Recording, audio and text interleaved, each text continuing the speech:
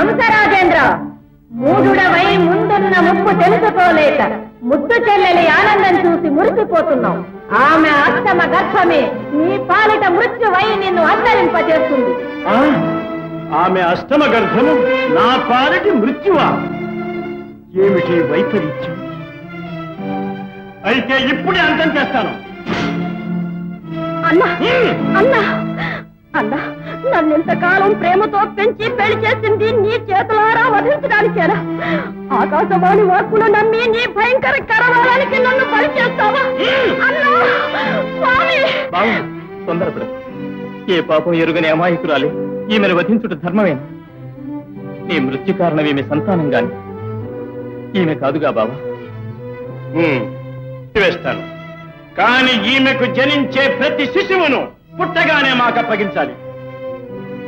తప్పకుండా అప్పగిస్తాను బావ నేటి నుండి కారాగారమే మీ నివాస మందిరం